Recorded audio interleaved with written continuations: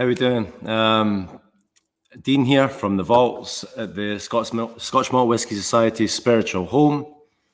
Um, we've got some classic bottlings in the background, and we've got a stunning array of flavour profiles, which John McShane, our master ambassador, has selected for us for the gathering. Um, it's been a tough year uh, to gather with loved ones, um, but nothing can stop us from celebrating. Nothing can stop us from celebrating our amazing membership, uh, whether we can travel in person or not. These virtual times um, can also be a great excuse for a magic wee regathering. So enjoy everyone, and we'll be we'll be looking out for all the comments, and John will uh, will kick us off with the tasting as well today. Slàinte. Hi, folks. It's great to be in touch with you all. As Dean said, very, very difficult times at the moment, but uh, I just love the idea of a gathering. We love it in Scotland because the word gathering is normally followed by of the clans, the gathering of the clans. So this is like a gathering of our members all across Europe. Apparently 600 packs have gone out. And I hope we can take you through some fantastic whiskies. I can tell you we've got two from Islay. My gathering t-shirt hasn't arrived in the post. I'm actually in Argyll at the moment. But I have a t-shirt. John, you see what it says in your t-shirt there? Can we see there? Yeah. Wild and Magic Islay. So Oi, thank oi. you, thank you for that gift, Rachel McNeil. And we're going to be from Islay, and we're going to be celebrating with two Islay whiskies tonight. So, as Dean said, let's have all of your comments. We've got quite a few different types of whiskey. We've got a few kind of cask finishes and stuff to talk about as we go through. So, um, if you're going to be commenting, uh, by the way, on social media, we do have a couple of hashtags you could use. So it's easy for us to pick up. And one is uh, all together SMWS, hashtag all together SMWS. And the other one is hashtag society spirit animal. And maybe some of you have actually got a spirit animal through our little quiz that we did on site a few months ago. Now, uh, we have quite a few new members joining us tonight. So I just wanted to give a little bit of a background to Scotch Malt Whisky Society before we actually start on a whisky. Won't take long, but we've been going since 1983, of course, 37 years. We have specialised in single cask, single malt, but over the years we've done lots of different things. And we've bottled uh, single cask whisky from many countries around the world. Tonight, I'm happy to tell you, it's all Scotch. It's all Scotch we'll be tasting tonight. Okay, so now the thing is, the the whiskey is not chill filtered. There's no colouring, and there's no water added for dilution purposes. So this is all cask strength, of course, and also there's two ways to try our whiskey, and one is to read the tasting note before you sip the whiskey, and that means that all you'll do in your head is try to experience some of the flavour notes you've just read about. Much more fun way to do it is to see what you get and then look at the tasting note. Because everybody's palate will give them something different. There are two types of tasting note. There's a direct tasting note and the indirect tasting note. So a direct tasting note will just be an aroma that you recognize, a flavors, as fruit, what type of fruit is it, cooked fruit, raw fruit, or whatever. But sometimes you can get something very, very personal, which is an indirect tasting note, which just reminds you very personally of a time and a place. And in fact, if you look at that, I'll tell you that once once we've tasted this one, I'll tell you what comes out of that tasting note rather than tell you right now. But here we'll go with uh, 26. 26145 mood lifting this is a highland malt okay usually used for blends many blends will carry this particular one and we have a we have actually got the the, the new make spirit there you go there you go Dean's showing you that there and we have matured this in a second fill bourbon barrel. You know, most of you will know, the new members might be getting to grips with the idea that the new make spirit, that every distillery is very different, and it's what we do with it afterwards that can make an incredible difference. Our last 20 bottlings of this spirit, this whiskey, we've had all of the various different flavour profiles involved except the peaty ones. Nine flavour profiles. And that's down to what we can do with the make spirit that we get during maturation. Okay, now let's go. Okay, let's try this one. But remember, some of you I know, I get told this all over the world where I go, some of you just do not like adding water. But the thing is, you don't know what you might be missing. So always try a little water to see how it changes the flavour. But let's go for it neat first, and you can tell us what you think the whiskey is giving you. And thanks to Nadja and Jens in Frankfurt, I've just seen them joining there. Great to hear from you. I've got a special mention for you two later on. Yeah, John, um, we're, we're talking, everyone, hi again. It's the, uh, John and I were talking just before the, we went live today about, about the lineup. And um, starting off with a 26, John, eight years, again, another eight year old from this distillery. And again, proven just proven the fact that you know cask strength single malt whiskies, uh, the, the, majority of the output that we provide at the society, younger can sometimes often be the most the more popular whiskies, John, amongst members. You know, the younger ones are great value. Yeah, yeah. It's a stunning example of the make right away in waxy sweet. I think it's um that's a great point, Dean, because we don't just bottle some of the the very very well known ages of 10, 12, 15, 18, 21. We will bottle when the, we believe the whiskey is ready for bottling, and sometimes the young whiskies have just been fantastic, and this is one of those. Yeah, so just, just juicy oak and vanilla flavor profile. Yeah, juicy oak and vanilla opening us up, John. Um, we called it mood lift on the tasting panel, John. Mood lifting sanctuary.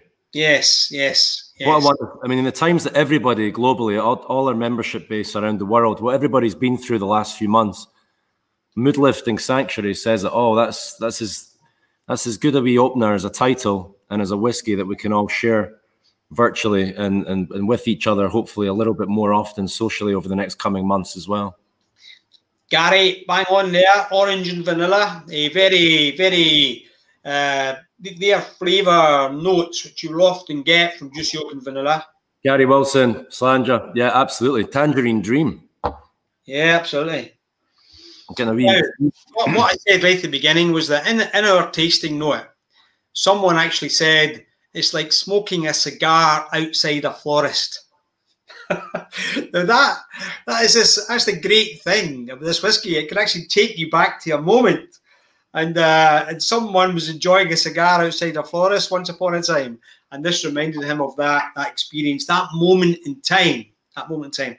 I was doing a tasting actually a couple of weeks ago, like this live, and I found myself telling people that was listening to a Joan Baez record on a veranda overlooking Lake Como. so don't worry about it. If, it. if it gives you something which is very personal to you, that will be right for you. That's tremendous. Here, and, here. And it's always what well also looking at the distillation date, because often that can be something which is important in your own life. Something John. 19th yeah. of September 2011. There was a member uh, to everybody who attended the gathering at the, the vaults um, here in Edinburgh yesterday. We had the marquee downstairs um, for a lot of more free flowing air. We had a good number of people socializing upstairs in the large members room. And Mood Lifting Sanctuary, John, the 26 was, was, was one of the most popular in terms of bottles uh, people were looking to purchase because of that value. Eight years, eight years, cask strength single malt from Distillery 26.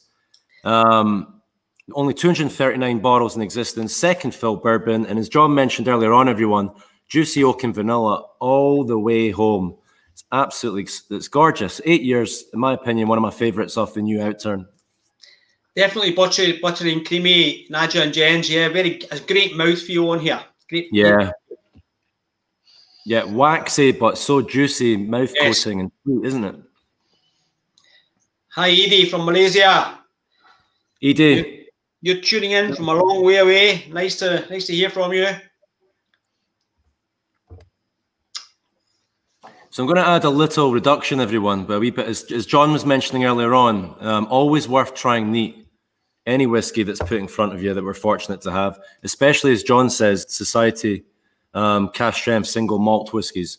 Worth trying neat, see what your palate um, takes to it. And then if you're going to add water, as John has mentioned numerous times before, you you know, common sense, you don't want to kill it. So little by little, little wee teardrops, raindrops, and see how it opens up. And John, you just mentioned the, the rainforest analogy earlier on with cigars.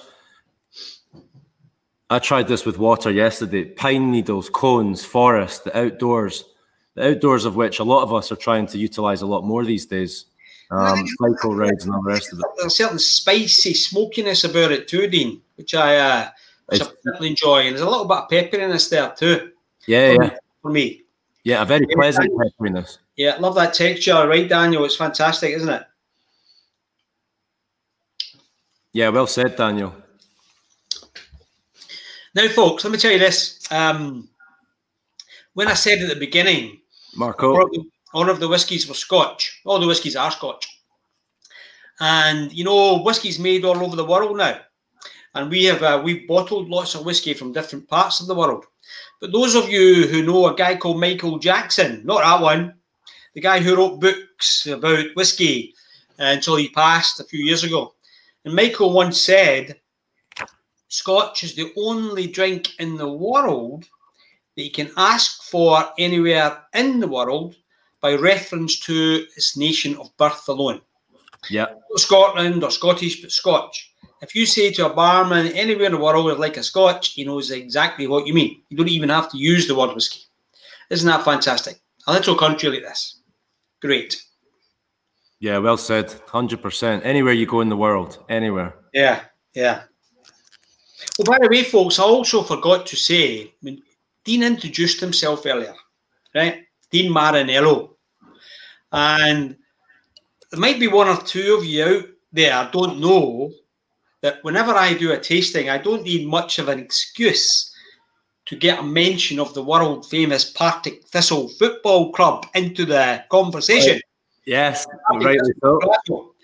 Well, Dean's uncle, Peter Marinello, was a famous Scottish footballer back in the 80s, 70s and 80s.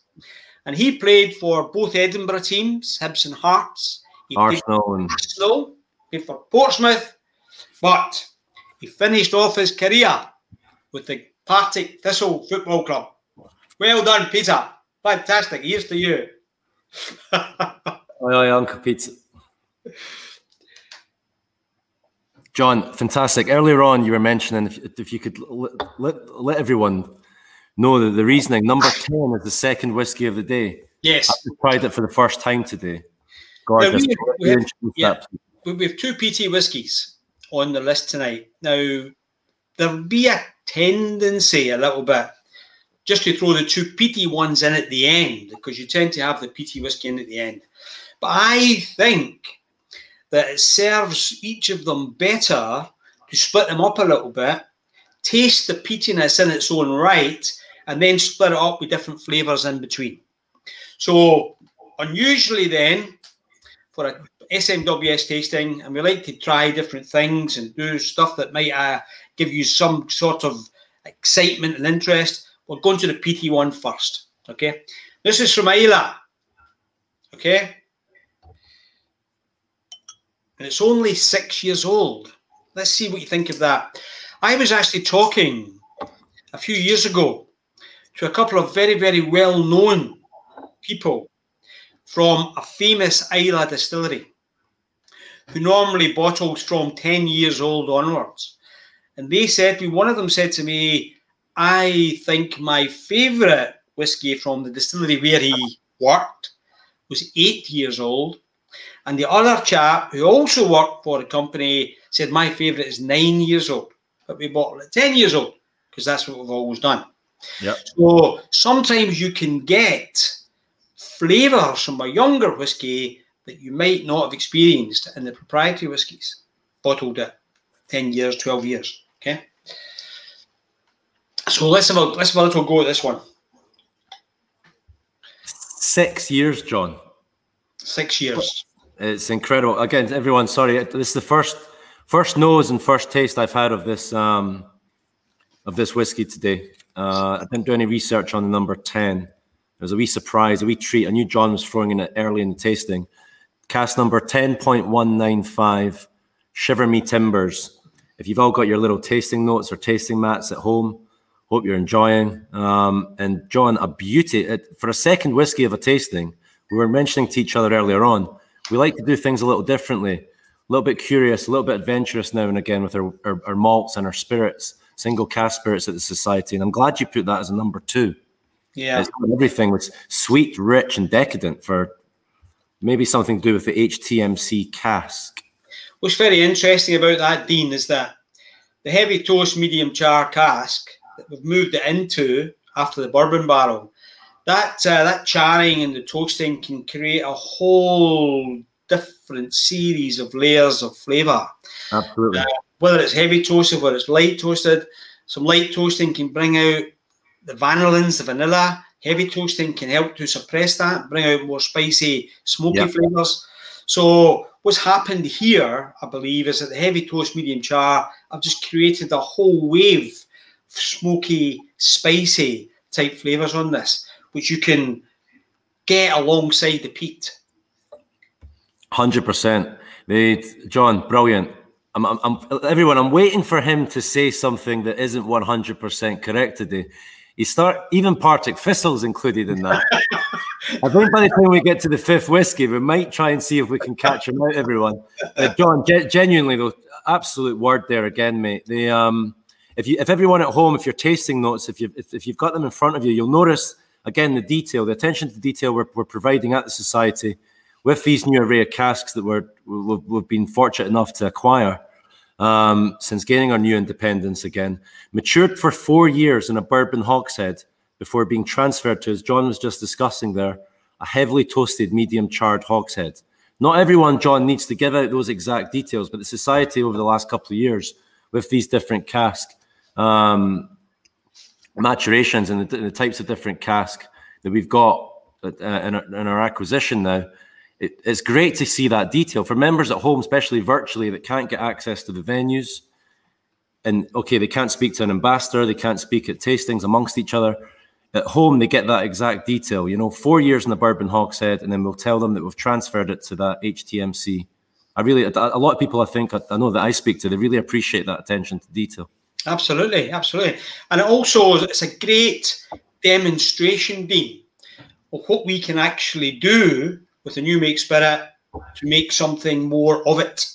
Because we've got 12 flavour profiles, and many of our whiskies will come in different flavour profiles depending on what we've done with the maturation, you know? Yeah. So, I mean, on this flavour, on, on this particular distillery, we've had mainly mainly oily and coastal, has to be said, but we've had a couple of peats and other other flavour profiles too.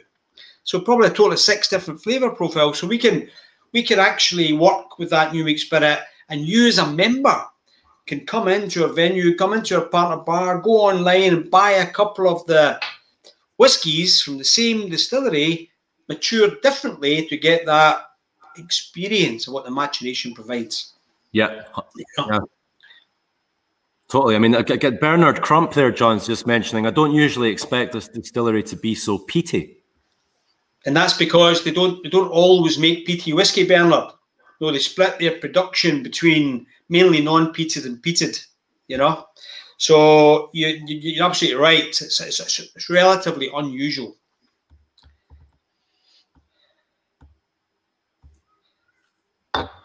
You know, yeah. you know. Sometimes, sometimes I don't get uh, a light peatiness on the nose. So I think it's because I've spent so many years drinking heavily peated stuff, and sometimes I don't get the lighty, lightly peated, peated stuff. I get some of the other flavors. I'm getting this. Yeah.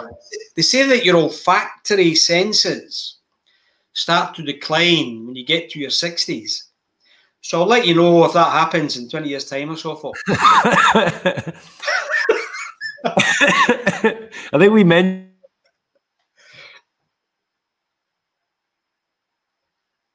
Sorry, Dean, you've stopped. Okay, folks, Dean, Dean is temporarily. Ewan, you oh I, I don't know how you pronounce that, Ewan. You're not even reaching for the water, and I know exactly what you mean. Yeah. This this this whiskey just tastes fantastic as it is, you know, and that's uh, that's always a danger that when you put a little bit of water, that you might have spoiled it for yourself. Especially if you've only got one glass. If you've got a bottle, you can obviously drink the rest of it neat. If you think you've spoiled it, but uh, but it's always that question. If you don't add a little bit of water, if you don't open it up a little bit, it's uh, I mean the the the strength is 59.8%. If you don't open up a little bit, you might be missing something, you know, you might be missing yeah. difference in the flavour. Yeah, totally, John. The uh, I've just added a little reduction myself there for the first time, and again, it just it just transports you um, straight into straight into the beautiful wee island that we know well of Islay. And I know John's got a lot of fans over in Islay, not only through the Whisky Society, but through the industry as a whole. And John, is the second whiskey in the lineup, I'm now fully understanding why you've put that there right off the bat in number two. Yeah.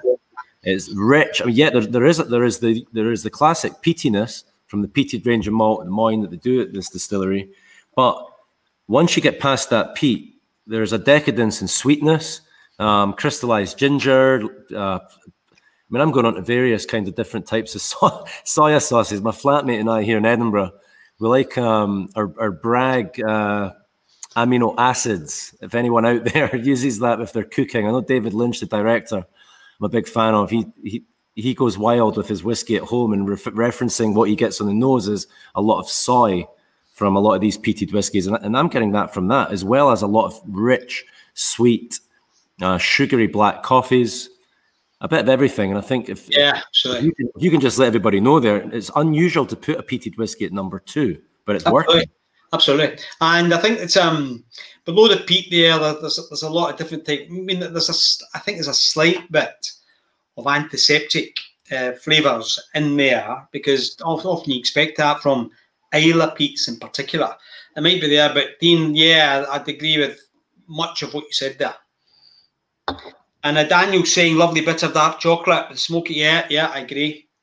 Daniel, yeah, Mr. Flex, Danny, good to hear from you there. Um, bitter dark chocolate, and, and yeah, hundred percent. I mean, again, I don't see anybody asking or, or saying why is there a peaty whiskey so early in the lineup. Everyone seems to be, everyone seems to be getting the ball rolling with that. Yeah, that's good. That's good. I mean, I mean, Dean was talking there about Islay, and I don't think anybody who's ever been to that island hasn't really kind of fallen in love with it, particularly whiskey people for obvious reasons. You know, it's just a fantastic, fantastic island. You know, when you when you if you ever if you've never been to Islay, when you get there, uh, if you're on a car, the first thing you'll notice is that everybody who drives past you waves at you. You got to wave to everybody, and if you don't wave, they'll know you're a tourist. so it's, so, it's so true. If you don't wave, they'll know that you're a tourist. Someone said to me, but won't your arm get sore with all that waving? I said, not in Islay, one. 3,000 people. You don't have to wave that much, you know. You know, and life is so much slower there, very much slower. I was in a I was in a bar in Bowmore a few years ago, and there was a conversation going on at the bar between two two men. One was a local man who spoke Gaelic, uh, Scottish Gaelic. Another chap was a Spanish gentleman who was on a whiskey tour and they were trying to have a conversation in English. And eventually the Spanish chap said to the Gael, said, Is there a word in your language which is the same as our mañana, mañana? And the local man thought for a second or two and stroked his chin. Said, You know, I don't think we've got anything in our language with quite that sense of urgency. so that's what life is like in Islay. It's a wonderful, wonderful experience, you know. And this whiskey takes me right back to, as Dean was saying, just transport you, transport you right there. Uh, overlooking, over, looking over to Jura. Yeah, yeah. Just transports you straight there. Yeah, the um, six years, John, incredible. Again, what we were saying earlier on about some of these younger casks, incredible. Yeah, I know, I know, amazing, amazing. So remember this, folks. Uh, there is no single chemical proposition for whiskey. So there's no one can tell you exactly what's going to happen uh, when you take that whiskey from the cask and put a bit of water in it in your glass, you know. So it's a wonderful thing just to try and get to know, full of new experiences and wonderful aromas, particularly in a society with such a range of whiskies and differently treated to get different flavours. Now, now, if everybody's uh, enjoyed that one, let's move on to uh, here we go with 7243. Now, some of you, some of you may well have uh, looked at this, looked at the treatment of it by us, and thought, what is going on there? Eh, what's going on? That's two casks put into another cask, you know. So the over over the many years of our existence, we have done a lot of uh, experimentation, innovation with different types of casks, different flavors. A few years ago, uh, when we started extra maturing uh, single cask and a different type of cask, people said, "Wait a minute, that's not a single cask." I said, "Well, it is. It's with, it's the whiskey following from one cask to another. Um, but this is step. But we had done that before, way back in the early 90s, we'd done that. You know, it's not something that we did that was new, nor is this new. This is two bourbon casks, distilled on the same day, maturing bourbon cask, then switched to a first fill sherry butt. Now, remember when you're so, and we'll probably do more of this, and this flavours I think you're going to discover are fantastic. And what you have remember when you're tasting single cask and malt whiskey, what you're trying to do uh, is you're trying to get what the new make spirit flavors were and how those flavors have changed and developed through the maturation process. So you can get, okay, I can get the new make spirit from that distillery, I recognize it, and I can see what the second fill bourbon barrel has done or whatever. Now, here, you've got a chance to try and get your palate to recognize new make spirit, bourbon cask effect, and then a sherry cask effect. Yeah. So it makes it very, very interesting. Let's go. Gorgeous. Yeah, as John said, everyone, we've created two such casks, um, and look out for cask number 7.244. Uh, so that branches around the world, Scotch Malt Whisky Society branches around the world will get the chance to try these special creations and appreciate the fine flavor balance from the bourbon, as John was saying, from the bourbon and sherry cask influences with a wonderful oily mouth coating texture. Um, twinning, John, absolutely twinning. Absolutely, absolutely. The sherry, sherry cask maturation, extra maturation will normally give you uh, rich fruits uh, and fruitcake and that kind of thing. So there's definitely a bit of that in here. Now, this is a 24, what was it, was this distillation date? 16 years old. And it was yeah. on, uh, where was yeah. it? The 26th of May, 2003. Right, 26th of May, 2003. 16 years, 15 years we combined, as John was saying, guys, we've combined the two second fill bourbon barrels, originally filled on the same exact day, um, into a first fill Pedro Ximénez butt cask for an additional maturation. It's words need, words need say no more when it comes to some whiskies like this, John. Right? Absolutely, absolutely. It's just so. I mean, and remember that this is, we, we could try that again. Two bourbon barrels and a sherry cask. and It will never be quite the same. I just think this this is astonishing. It's astonishing. It really is. And, you and uh, our good friend Ewan, Ewan Campbell, who many people will know um, here at the Society, our whiskey manager, It, it, I was just reading out a, a, small little comment of his on that there earlier with the wonderful oily mouth quitting texture, which John and I had spoken before the tasting today, completely in agreement with. Um, but as John was saying, everyone, it's not what we all say the whiskey or the single cask spirit, whatever it is you have in front of you from the society. It's not what we say that is the ultimate um, is the ultimate word on it. As John's always said to many members around the world, and we hear it at tastings here in the UK, whiskey, you know, it's not only our tasting notes are there for a purpose. It's there for a guide. It's there for also a little storytelling as well, which is a which is a, a, a great little part of the society and what we do. But really, as everyone will know, it's about what you yourself get from that whiskey. So when when John and I say wonderful oily mouth coating texture, or agree with each other on some points, we'll also have completely different um, takes on our whiskey in front of us. Because John, as you've always said, a, a, whiskey is a single cask is like a human being, isn't it? I mean, we're all we're all unique in our own way, and we'll take to a whiskey in our own way. I think I think that's one of just the the wonderful things about it. I mean, you can travel from distillery to distillery across Scotland. Look at the setup and the process. Sounds very similar. The whiskey, the new make spirit is different from the same distillery for another distillery half a mile down the road. And yeah. there, there are great stories which I'll maybe get round to telling you someday about where they have tried to replicate the new make spirit from one distillery next door almost and haven't been able to. And science can't quite understand it. Science knows more than it ever did before, but still, I think some of the real whiskey experts say that we don't even know half of it yet. And that whole thing you hear about the cask giving the whiskey 70% of its flavour, well, no one could really put a figure on that, you know? And what the cask is really doing is working with these existing flavours and breaking them up and making new compounds for flavours, not necessarily adding more you know.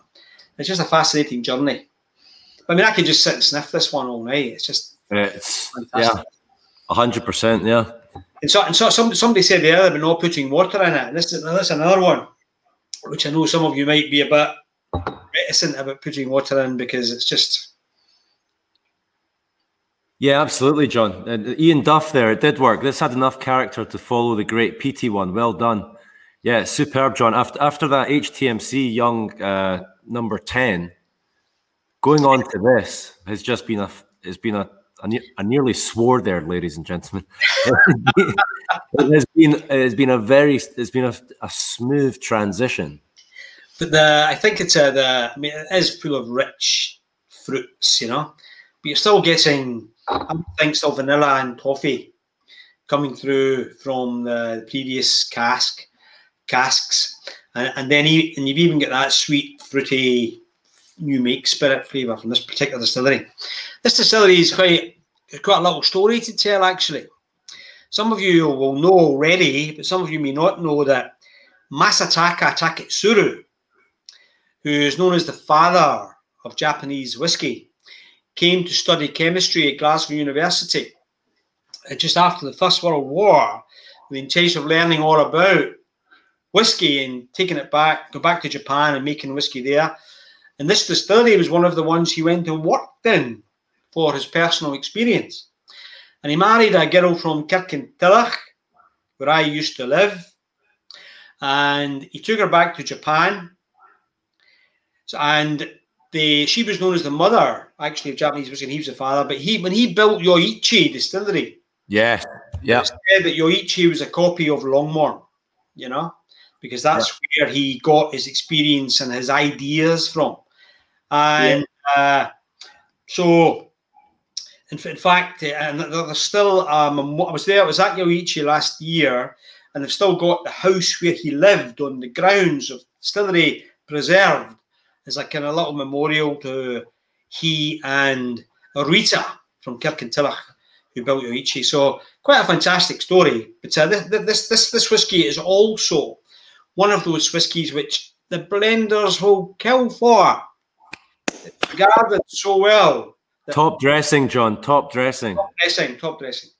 Yeah, brilliant. Well, ladies and gentlemen, and everyone who's who's, who's tuning in and listening, what John just said there about this distillery and the character from this distillery, they're so consistent with their spirit that, as, as John just mentioned, everyone around the industry regards it as top dressing in terms of spirit, in terms of quality of whiskey. And for us, John, to be able to have two two barrels, um, both on the same day, where we've where we've combined um, twinning, seven point two four three. Uh, the two first, two first, two second fill, excuse me, two second fill bourbon barrels, and then into a first fill PX sherry butt cask. Uh, you know, why not? John and I said before we went live today, we do do things a little differently. We do we do try, we do try things. We do try and be a little bit creative and adventurous within strict guidelines that are there for a reason. That John will tell will inform everybody throughout the world at his tastings. The, the, the SWA there, SWA are, there for a very specific reason, and it helps the industry. It's a positive. It's a force for good. But we are allowed to be slightly creative amongst amongst those regulations. And, th- and this one, this one is a great tribute to you and Campbell and our spirits team who've created this effectively. You know, so a wonderful, wonderful example of you, you know, like I often say to people um, that uh, people think you know single cask, single malt, or you know, stuff like that, that the society do. This is something you graduate to after a kind of ladder of experience through blends and single malts and stuff. But in fact, if you really are on a whiskey journey, we're better to start in a place where you can really experience the flavours that come from different types of cask. Yeah. So, so, that when you go to a single malt, which is a mix of lots of different types of casks, sometimes you start to identify in that single malt where the individual parts of the flavour have come from. And you can do that better if you are if you've educated your palate in what different flavours from different types of casks involve, you know. So yeah, so this is just oh, is just wonderful. This. It really is. Um, I've, not, I've not added any reduction yet. Have you? I've, I've not even yeah, added any water yet. I'm just I'm going to go in now with a wee a wee teardrop or two. And I'm pleased to say, I'm pleased to say, for I bought a bottle Oi, oi, that makes two of us there twinning then because yeah, I've got a lot of members in Edinburgh here saying, well, you can get it back, Dean, because it's there's there's, there's hardly any left. Yeah, it's been going great, guns. It's like hotcakes. The the cask number seven point two four three. Yeah, just that we mentioned, John, for, for for a lot of our newer members over uh, that have since joined the society, um, either just before lockdown or during lockdown, our online members room. Um, our dear colleague and friend uh, Richard Goslin has has managed to organize, uh, along with Mads and the rest of the team, uh, smws.com slash blog slash members room. You, you'll get it on your website on, on some of the main front pages, but smws.com slash blog slash members dash room. And that blog will not only be blog in terms of articles and written word, it will give you a portal into everything in terms of uh, archives, unfiltered, outturn, and members' goings ons and, and getting togethers around the world virtually. So do look into the, the online members room, everyone. And uh, it's a great point that because if you talk, we talked about, I mentioned a whiskey journey earlier, and people are always trying to learn more about whiskey. In our members' room is a great source of information, you know. And even even looking back in some of the old unfiltered can tell you an awful lot about a particular distillery or whatever. Fantastic, you know. There's Dean showing you around the vaults now. The first time I've ever been in here solo. I'm hoping Jan, I'm, hope, I'm hoping I'm hoping Jan isn't uh this is all above board, guys. But yeah, no, just a fantastic experience. A, re- a real wee sanctuary today to have uh, private access inside our members room. But as John will say, the members room only comes alive when we've actually got everyone here together. Absolutely, absolutely.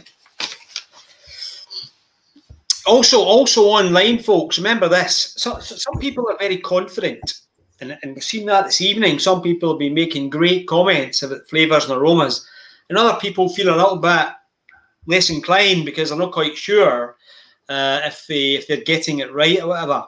And the most important thing is that there's no right and wrong about tasting notes. It's very personal. I happened to read the other day, we hear this. Yeah. Human, human being has, what was it, 5 million olfactory cells. A sheepdog is 220 million. So we're thinking of getting a couple of sheepdogs on the panel. but,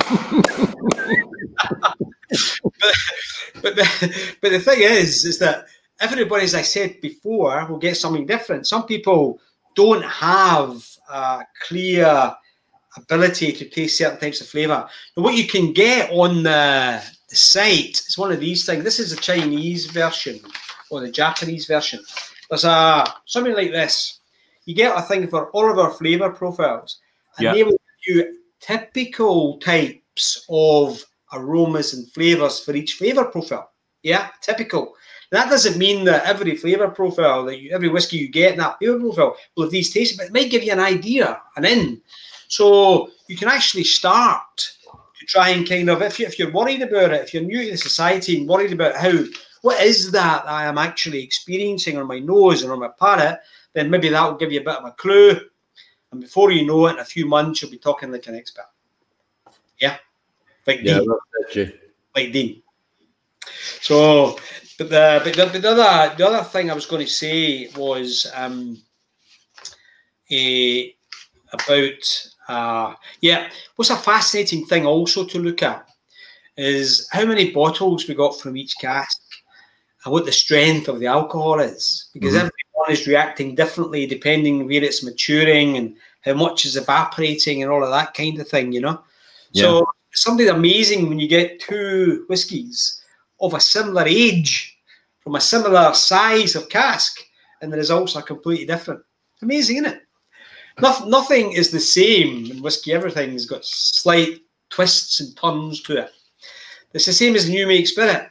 I was at a, a talk, a whiskey talk, a few years ago in London. There was a distillery manager from a very famous distillery talking there. We were talking about how much is craft and how much is actually place in terms of the whiskey, so craft versus terroir sort of thing. And as you know, there's a whole ongoing debate about terroir and whiskey, yeah. whether it actually is a factor, or whether it's not. But one of this this distillery manager said every distillery has a thousand little quirks. Something that Joe, who's been working there for 40 years, has always done. But he learned it from Harry when he took over 35 years ago, you know.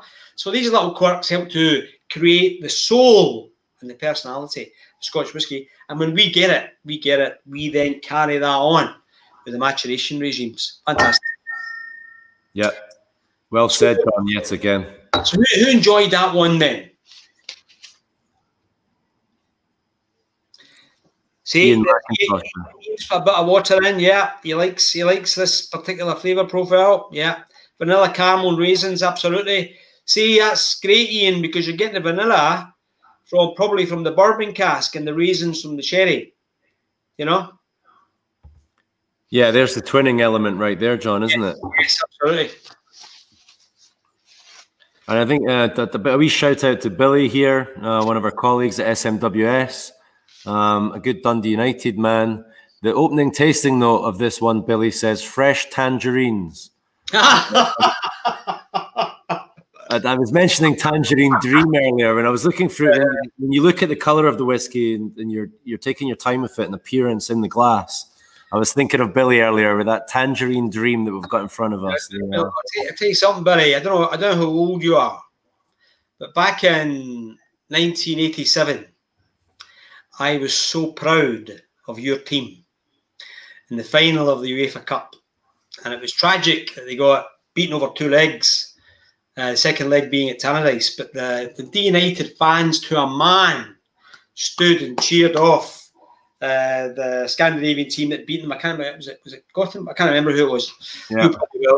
But uh, I think they actually got awarded the FIFA. Yeah. yeah. Yeah, brilliant. For all those who are not so interested in soccer, football, um, what we will say is, is that yeah, we take a keen interest in it. Many of us here at the society now and again, but because we're not very good at it, John said, when we get applauded off the pitch, sometimes it's because we're getting applauded for being so bad. But we do, as a small country, as John was saying, in relation to soccer, football, whiskey, for such a small nation, we uh, we travel the world and we and we and we can do it well, John. Yeah, absolutely. Yeah, we, we, we used to be quite good. yeah, well, that that hundred percent. I yeah, I missed those days. Yeah.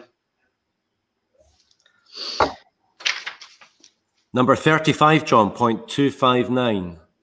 Yeah, thirty-five two five nine. Now this is a this is another another Speyside distillery, and this distillery actually used to be a cousin of ours in our long history. We're, we're, completely independent again and have been since for five years now. But we, for a while, we were owned by a bigger whiskey company, and so was this distillery. So we were very, very close to them. And they were also very, very well known for experimentation with different types of cask during the course of their, their, their life, you know, and they produced some fantastic stuff, really. We've had, we've had sweet fruity mellow, we've had deep, deep rich dried fruits, we've had juicy oak vanilla, we've had old and dignified. And this one is from a sweet fruity and mellow uh, flavour profile. And we're talking 53.5%, but it's 24 years old. Yeah. 24 years old. Yeah, that having to operate remotely, John, um, is a nod to the strange times we're, we're experiencing at the moment but also to demonstrate that we're we're in it together with members. And uh, on this number, cask number thirty-five point two four nine, um, John knows them very well. We we, we, we, we want to say hi to every every single name going, but just a wee shout out to the SMWS DK branch, Terje and Thomas, um, and all the ambassadors over in Denmark. Missing you guys through these times, and I think John, I think it'd be quite appropriate to say the gathering which originated at the, the vaults our first one last year, is a wee nod to what the our society branch in Denmark had already been doing with festival and venue and getting people together from not only around Denmark, from all over the world. And the gathering, which we're going to continue doing over these next few years, we would like to hope, is a wee nod to Denmark because what they were doing in Vejle, uh, and John knows the team very well over there, the, the gathering here at the Vaults and now virtually it's a wee nod to SMWSDK and all, and all our branches throughout Europe and the rest of the world, John, because everybody's ganging together and trying to do their own events, you know? I was, I was absolutely, that's brilliant, Dean. I was absolutely delighted to be uh, in Denmark when they launched way back in 2012. It was a particular festival they launched at, and I've always been close to them ever since. I just love visiting Denmark. Amazing, amazing people, you know. And in fact, I don't know if anybody, I don't know if anybody, I don't think anybody has noticed the watch I'm wearing. There's probably about three of you have never seen this watch. There is. And John, by the way, it never misses a beat. Never misses a beat. And that watch was a gift to me by Rennie Lawson. Uh, Danish. It was very, very closely connected to our Danish branch. Thank you, Rennie. I'm always I'm always posting photographs from airports and stuff, and yeah, well done. And I, I was over I was over in Denmark uh, for the festival just at the end of January this year, before everything kind of collapsed. So uh, once again, we had a wonderful time. Pip Hills was there, our founder. Uh, Kai was over as well. We, we, had a, we had a wonderful time. Jan was there. Gregor was there. Yeah. More, more SM more SMWS people from Scotland and Denmark at that weekend. yeah. yeah, but John, people from all over, weren't there? Yeah, that's, that's, right, people right. from all over. That's right. That's right.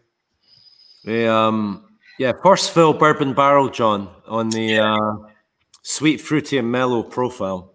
Now, now, what I was going to say, what happens to a lot of our members around the world is that we have tasting notes, which our panel here come up with. Now, often that panel, because of where we are, just happens to contain a lot of Scots people. Although occasionally we have other people from other countries. And sometimes we make tasting notes which people in other countries say, What is that? What is that? So, for example, in the last one, I don't know if anybody noticed, we had Moffat Toffee. Yes, that was a wee nod to uh, Mr. Yeah. C, I believe. Yeah, so Moffat is a little town in the borders in Scotland, and they make toffee, Moffat toffee. How are you supposed to know that in some other part of the world? Well, look at the name of this one.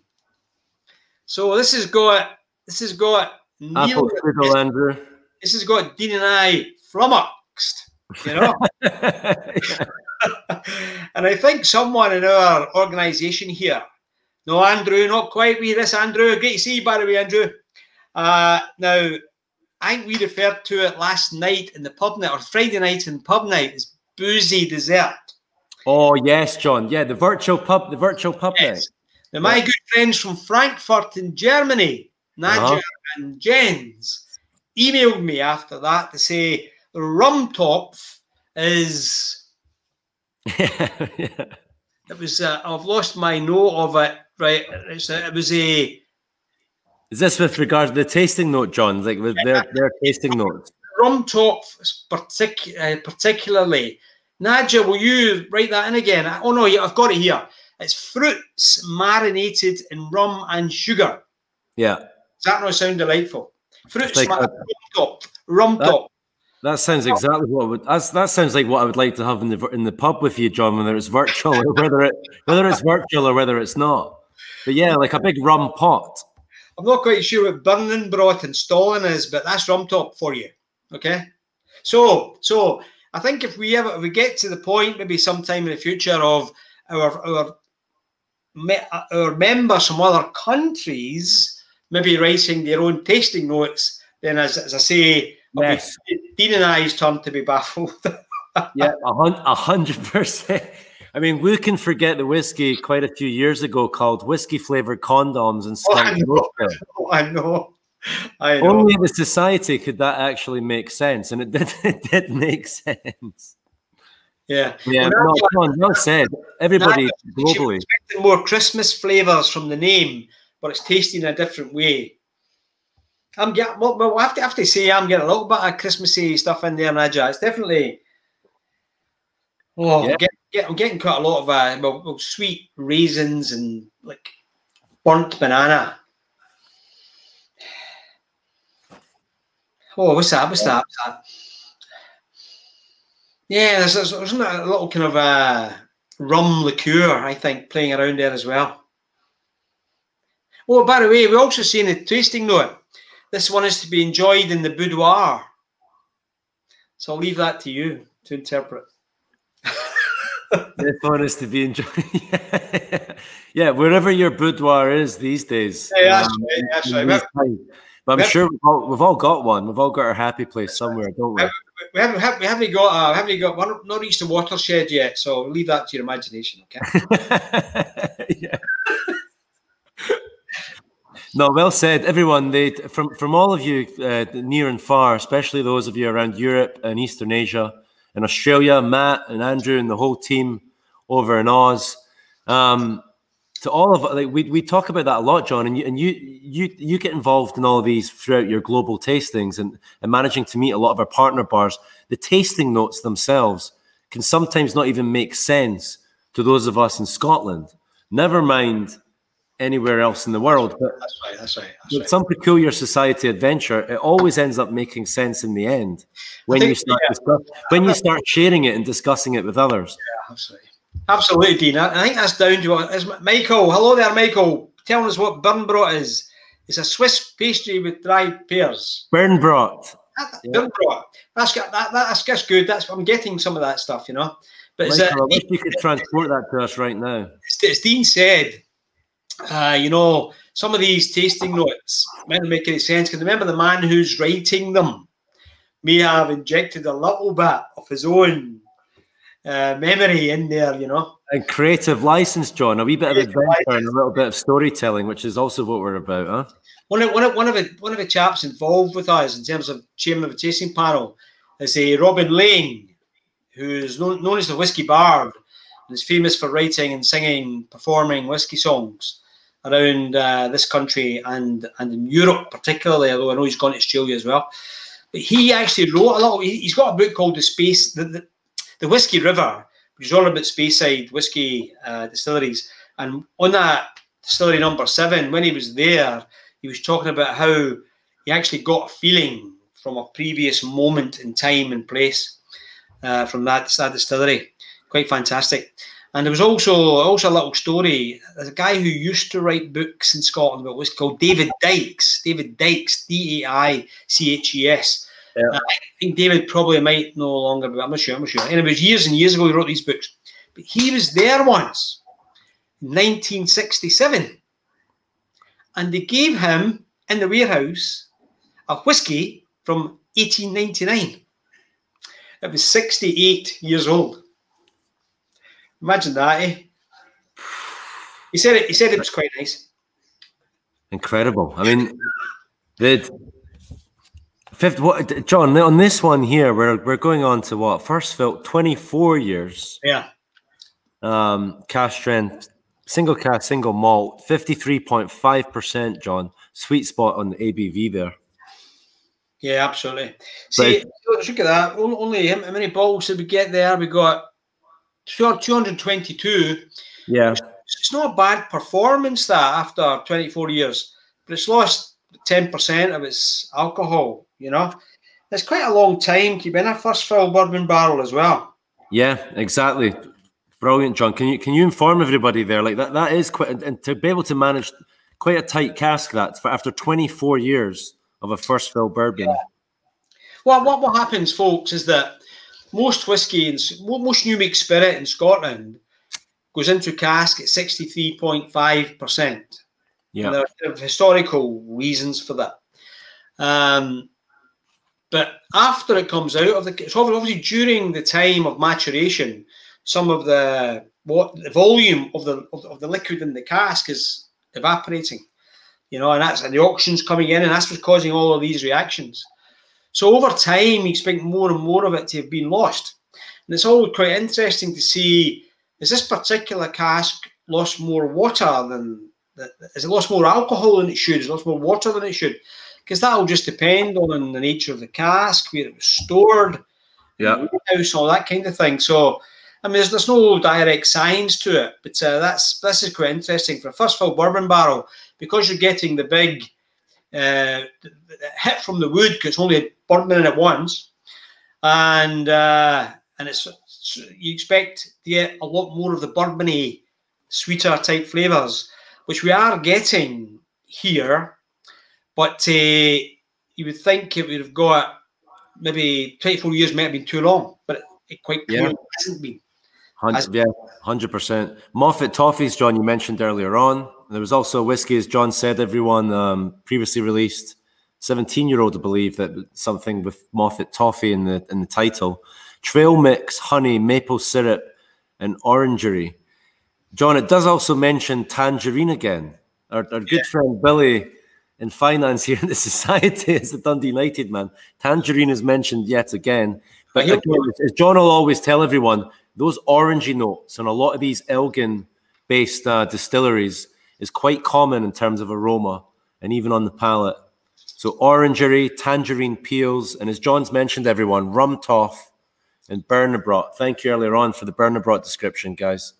Uh, Stollen and Glencoe cherries. Best enjoyed in the boudoir, John. As you said earlier, even in these times, we can. Uh, I don't know if everyone's noticed, but if you look out the window, because John, we were playing around with our cameras earlier on, everyone. John is literally back in his Scottish home up north here. Um, I've not got a great background in terms of the society full room here, but you can at least see some of our original bottles that John um, has done some tastings with and master classes with over the years. Some of the original bottles, point one, all in our cabinet here. Uh, and I'm sure you're all enjoying at home. John, superb again. Number four, 35 has just led us up delightfully and a really more mature one at 24 years. I just think it's been uh, it's been incredible so far. You know, it's uh, the, the, the whiskies have just been tremendous. Michael, who uh, messaged earlier about the Birnenbrot, I know he's experienced these whiskies before because of what I explained earlier, Dean. I don't know if you actually managed to get a bottle, Mike. You can let us know. I know you were after a bottle of this 35. Um, but uh, yeah, fantastic, fantastic uh, mix here of different flavour profiles, you know. Uh, and everybody, as I say, will be getting something different. And thanks so far for all your comments. If anybody, I sometimes ask as we go through which whiskey you know, the, the audience or the members have preferred. But I mean, it's, yeah. I don't think it's possible to do it this time because there's such a different variety, and I, I couldn't I couldn't pick one. Yeah, the variety of casks, John. The variety of casks, and yeah, yeah.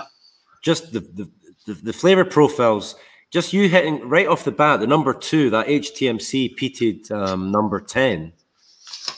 Yeah, I think we all need, ladies and gentlemen, and everyone who's listening in, with, that is something at home when you're doing your own tastings at home in these times over the last few months where we've been the fortunate to have access to some of these gorgeous flavor profiles. As John mentioned earlier on today, it's not common to use a more kind of peatier whiskey early in the lineup, but why not when you know that you've got an abundance of rich and different types of flavor profiles to follow it?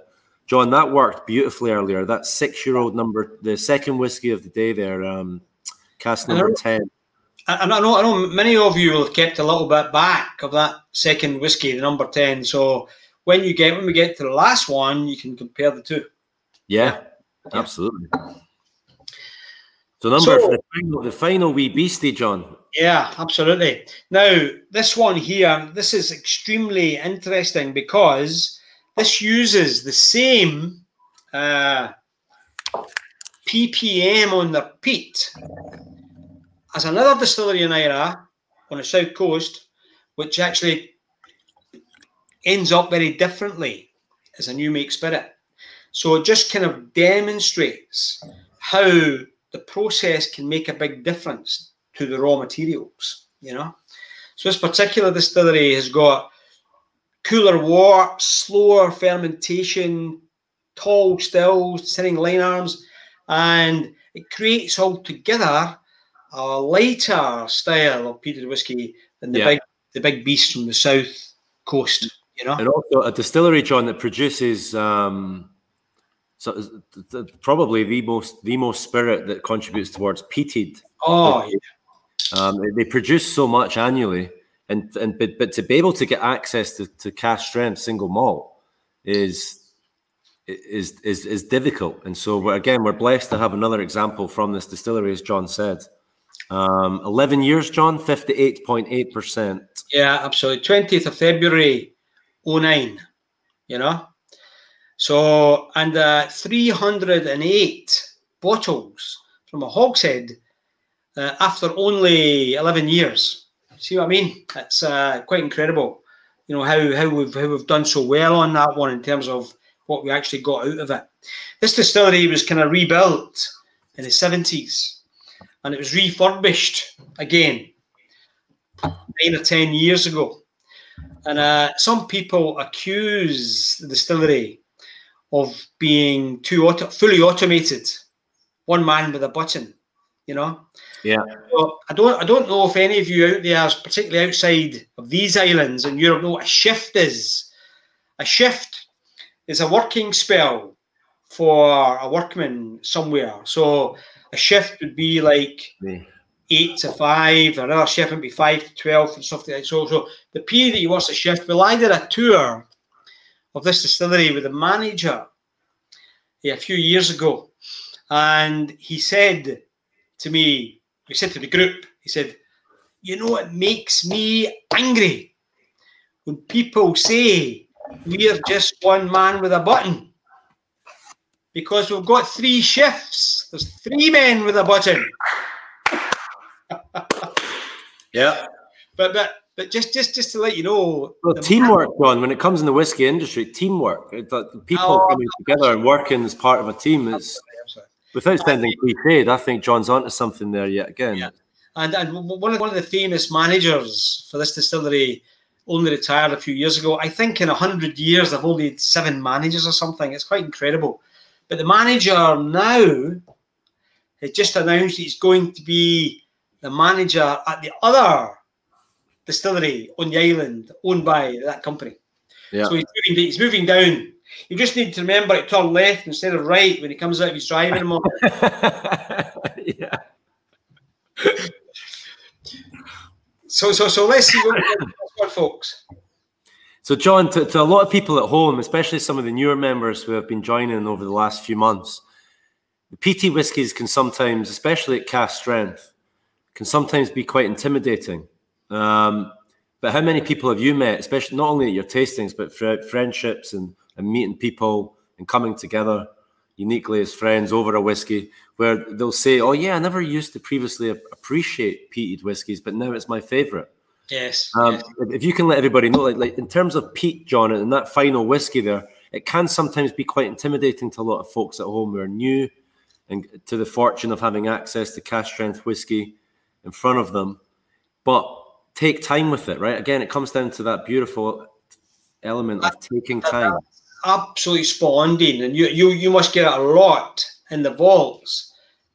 People, people, our membership is gradually getting younger. Delighted to see there's a lot more women now than there was 10, 12 years ago. Yeah. Sometimes, and, and, there are no rules anymore about who likes peated whiskey. Nor should there ever be, right? I, I, maybe 10, 15 years ago, you could kind of predict who would like peated whiskey, no more. And Dean was saying there, some of the, the ways to appreciate whiskies that you're not so sure about is to eat it with some some food, some snacks, and get used to yeah. it that way. One hundred percent. We did a tasting in London uh, two years ago. There was a, a bunch of blokes who were clients of the company we were doing for. It was a corporate tasting, and they said they don't like peated whiskey. We asked them to go over to a, there was a fish stall get some raw fish, oysters or something, can't remember what. Come back yeah. with that and try this distillery. Those, and they, they, they thought, my God, what have we discovered? You know, and, uh, and, and eventually through that they'll end up enjoying the whiskey on its own, no doubt. But it took away the fear. It took away the fear. Yes. Yeah. So many, many years ago, I used to people say to me, "Oh, I hate whiskey. I tried it once. It was awful." And when you dig a bit deeper, it turned out they were an 18 years old birthday party. And at three o'clock in the morning, and every other alcoholic drink in the party was gone, someone gave them some blended whiskey and they took it and didn't like it. And, and that was a taste they remembered in the morning. So didn't drink it again. so, so far, I've worked out there's about 200,000 people at that party. But, but anyway, but once you but once you actually get past that fear, you know. And well actually, said, Michael. Michael Tank O'Donovan there, John. Yeah, there he goes. And, and, and Mike, Mike and a few of them at Sash and Astram Whiskey Club are like that now. Yeah, we um, drank any peated whiskey five years ago, but yeah. now fully appreciate it now. Yeah, Mike's one of our younger members. right, Mike. Yes, Mike. And uh, and uh, so I, I think that people are beginning to see in the younger generation. There's a kind of culture of connoisseurship now. Yeah, yeah, it's growing, John, isn't it? It's growing. They want to taste all the different drinks, and they want to know why they taste like that, not just they taste differently. So it's given us a great opportunity for our members to take them through different flavors and explain why. You know, yeah, yeah. and you know, it's it's wonderful. Absolutely, John, and and, and, everyone. Sorry for sounding a little bit uh, brandy or. Um, or a sales pitch here, but I, think for anybody, it's more so coming from people that's come to speak to us at tastings, John, and members that you meet when they when they when they start joining the society, they get a feel of things and they start opening up, they start opening up their minds with regards to not only the whiskies and single cask spirits they can get access to, but you know the type of people that you can come across and meet that you that you wouldn't always that you wouldn't always meet. And in, in these times now, as John just said, everyone, the um, it's absolutely crucial to know that you know, take your time, but there is a growing interest around the the, the foodie, the drinks, the the whole spirits industry for refined niche profiles. And I don't mean to be calling out um, and claiming facts here, but the society, John, can lay claim to be pioneering and a real force for good in the industry when it comes to establishing flavor profiles of a product that is as, as good as any in the world, we would argue. Um, those of us lucky to be able to enjoy whiskey and single cask spirits. But uh, absolutely, flavor profile, as you just mentioned there, flavor profiles. There is a growing market amongst younger, um, younger consumers, but more importantly, people that you get to meet from young to old, John, and to everything in between. That is whiskey in a nutshell, right? The people that I, meet. I think that's absolutely, absolutely right, Dean. No, there's no doubt about it. And altogether unique I, I mean, I mean, I was asking people. I mean, Nadja and Jens are saying that 53 is still about bit too peaty for them. I'm, I'm actually trying this whiskey now, and I think this is sweeter than the number 10 was. Mm-hmm. You know mm-hmm. Yeah, John, incredible. That right. By the way, our master ambassador there, ladies and gentlemen. Uh, they they um yesterday at the tasting at the gathering here at the vaults. Uh, there was a couple of there was a couple of folks coming from Norway uh, and Molde area. There was someone coming from the Heidelberg area, just outside of Heidelberg in Germany, uh, Sweden, and then some local members. All at this little tasting that we done, John, as part of one of our master classes. And exactly that, we used the 53 as one of the uh, the whiskies yesterday, and that was what that was the member that I'm referring to. I don't want to call out his name. I've only just met him, but him and his partner, they were both the exact same. They're like, wow, we've only been members since just before lockdown. We've not been able to access the venue, but this this 53, everything you just said there, John, in terms of the sweetness to it, even possibly richer and sweeter than the, the second whiskey today, number 10. They, they were the, the exact same with them, John. They had only recently started getting into their peated whiskies. And they said, wow, once you get past the peat, the sweetness, the richness, and the decadent arrays of like fruity and estery parts to it, they were loving it. They were fantastic. Only just met them yesterday, John. And again, what do we say about whiskey? You meet people and it transports you into storytelling over whiskey. Yeah, that's fantastic because I mean that um I can understand that. That that, that once that people talk once you get past the peat, but it's not just getting past the peat, it's trying to understand what you're getting besides the peat. I mean, I'm getting some a little bit of citrus in there, even you know. I'm yep. getting I'm, I'm, getting sweetness. I'm getting certainly the smokiness and coal tar and all the rest of it. But I just think that's absolute one. And I tell you what, it belies its strength. Yeah. Uh, what you say that You're looking at what? It's close to 60, 58.8%. Uh, that's the other thing, folks. Sometimes you'll get 58% alcohol whiskey and you'll think, oh, that's fantastic the way it is. And other times you'll get 52%, think, oh, no, but, but what than that? No, there's no golden rules, you know. There's no, there's no uh, like reference you can look up for that sort of thing. It's a very personal thing. The, the, the other thing is as well, is that happened to me earlier this year. I had an S, bought of SMWS whiskies from Distillery 121, and I already had drank half of it in, in, the preceding months. And I got back to this evening and I poured it on, and it, it blew me away. I thought, this is fantastic. This is the best whiskey I've had this year. Now, why didn't I think that when I was drinking it earlier? I thought it was good, but this time blew me away. And it just shows that at different times, you'll get a different experience from the whiskies that you drink. Uh, and that's the same thing that happens in your brain. If you have a wonderful experience and you remember that aroma and flavour, then that will take you back there forever. And that's why sometimes you get notes like my granny's kitchen at Christmas and yeah. tasting notes, you know. I was on a tasting panel once, and Euan Campbell, our spirits manager, was the chairman that day. And I said to him, Oh, Euan, I'm getting leather from an old car. He said, Very good, John. What is the model of the car? And it's not as daft as it sounds, because what he detected was if he's got a memory working in there and I can drag it out of him, it's going to make more interesting tasting than just leather from an old car.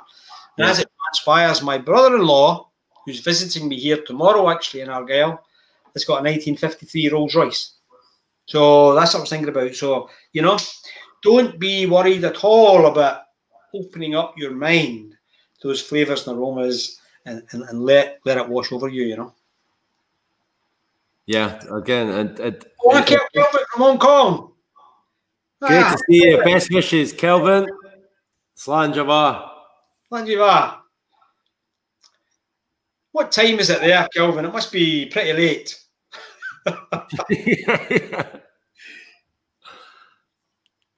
The um, John finishing up with that wee beastie there in the end. Wee beastie is not the appropriate word, actually. It's uh, it's as sweet as you like. I think and so. That, I think so. And, that, and that's got a good amount of peat to it. Yeah, yeah, I think so. So I mean, and I love the name as well. Storm tossed kelp on an Islay beach.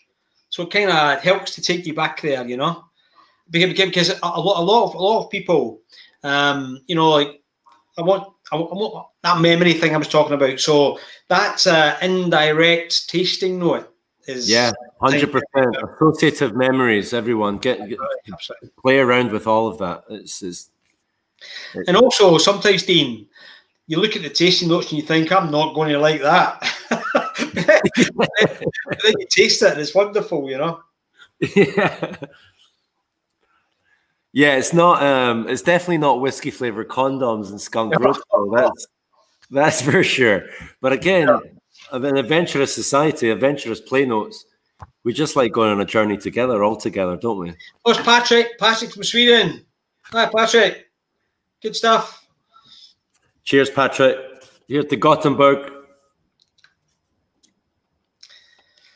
So, any, any any questions or comments, folks? Fire away. We've got a few minutes left. Hi, Kim. Great stuff. Yeah, Sunday versus Friday evenings after work, Kim. That's a good one. Just shows you, yeah. It's good to hear. we need to, we need to put that into the tasting notes of some, I of know, some forthcoming whiskey. Sunday, Friday evenings It's after just, work. it's just good to hear that somebody's working, Kim. Well done.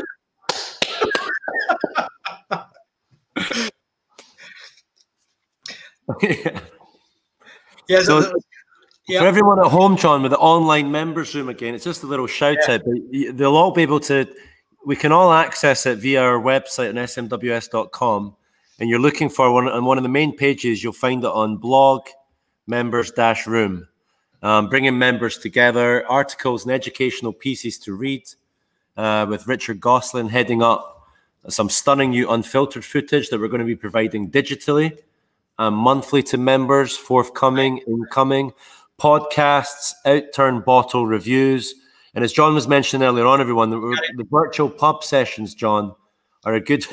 Yeah. okay, some, some of us can't be together, but even just speaking to you today, a perfect example.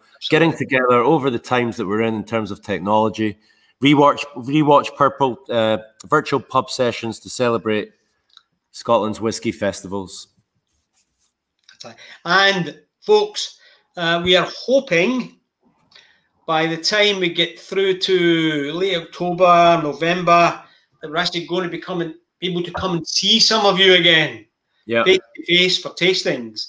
I'm trying to arrange some down in England. Some already have been arranged in England.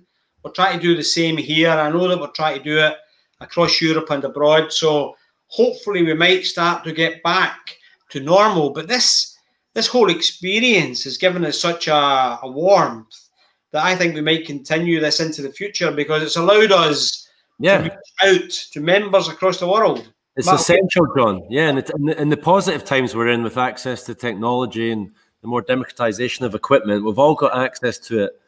Uh, those of us fortunate and and been able to utilize that equipment. Why not? You know, I, I would never be able to get to you where John is. Everyone in Scotland in in in under two hours today. Never mind, you know.